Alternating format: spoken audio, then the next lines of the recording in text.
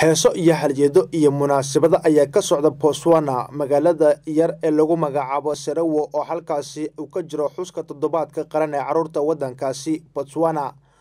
Madaxweynaha waddankaasi botswana an khama ayaa waxa uu qaatay go'aan uu isaga casilayo xilka madaxtinimada waddankaasi islamarkaasina uu isaga baxayo howlaha siyaasadeed ee dalkaasi botswana kumanaan qof ayaa isugu soo baxay gotla iyada oo ka qaybgalaya ciyaaraha dhaqanka waxaana ay ka codsadeen in uu yareeyo waajibaadkiisa xilka shan iyo lixdan jirkan laba kun sideedii madaxweynaha ka noqday waddankaasi isaga oo ka jawaabaya arrintan ayaa waxa uu yidhi waxa aan doonayaa inaan ku laabto noloshayda caadiga ee dadweynaha oo wax badan kama qoomamayn doono. Waxa aan ahaa askari waxdana uma soo gelin siyaasadda waxaana uu sheegay in uu leeyahay qorshayaal kale mustaqbalka oo ka fog arrimaha siyaasadda waxaana uu madaxweyne ka noqdo waddankaasi laba kun sideedii botswana. Khama ayaa waxa uu doonayaa inuu iska casilo xilka maalinta sabtida waxaana u hadhay siddeed iyo toban bilood xilkaasi inuu sii wado inta laga gaarayo doorashada guud ee dalkaasi si uu u dhowro dastuurka dalkaasi